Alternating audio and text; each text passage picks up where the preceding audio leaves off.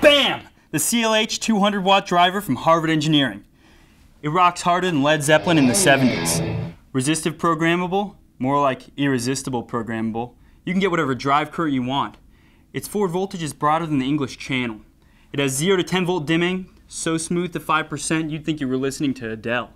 What about harmonics? Funny you should ask. The THD is so low you'll hardly even know it's there at 13%. It's the best thing from Britain since the Beatles. Wirelessly controllable with our LeafNut central management system and 120 to 277 volt so you can rock no matter where you are. We are Harvard Engineering. We don't make fixtures, we just make yours better.